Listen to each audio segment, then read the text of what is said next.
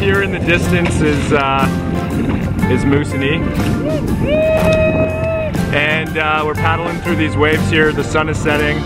You can't ask for more fitting end uh, end to a eight days. We never once had a tailwind. Today we slogged 60 kilometers through headwinds and it was a gruel, but uh, we're here and I think we're better for it. Uh, what a what an amazing trip. We're right around the corner now, so signing off.